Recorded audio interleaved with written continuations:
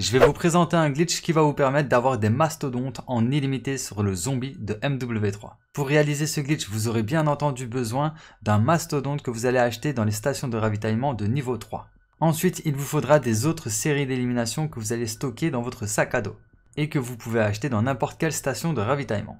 Alors ensuite, ce que vous allez faire pour dupliquer votre mastodonte, c'est de faire flèche de droite pour avoir la grenade en main et ensuite de déposer une série d'élimination par terre. Quand c'est fait, vous allez récupérer la série d'élimination qui est par terre en spammant votre touche R2 pour lancer la grenade. Si vous avez correctement fait ça, votre joueur va tout simplement lancer la grenade pour le mastodonte et votre série d'élimination mastodonte sera toujours par terre que vous allez pouvoir récupérer. Par contre, ça utilisera quand même la deuxième série d'élimination que vous avez récupérée par terre.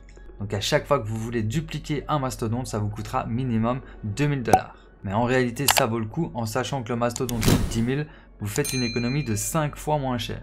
Alors bien entendu, si vous voulez continuer à le dupliquer, vous pouvez le faire si vous avez d'autres séries d'élimination dans votre sac à dos, comme moi je le fais dans le gameplay. Alors ce qui est bien avec cette technique, c'est que si maintenant vous êtes équipé d'un mastodonte, vous allez pouvoir récupérer toutes les autres caisses de mastodonte pour les stocker sur vous-même. Donc quand vous les aurez toutes récupérées, vous aurez juste à faire flèche de droite pour lancer tous les mastodontes que vous aurez dupliqués. En réalité, c'est super cheaté parce que ça ne prend pas de place dans votre sac à dos et vous pouvez en stocker sur vous autant que vous voulez. Donc vous allez pouvoir vous trimballer dans la map avec autant de mastodontes que vous voulez dans votre inventaire sans que ça prenne de la place. Enfin bref, je pense que je vous ai tout dit. Si vous connaissez d'autres astuces ou d'autres glitches, n'hésitez pas à le dire en commentaire.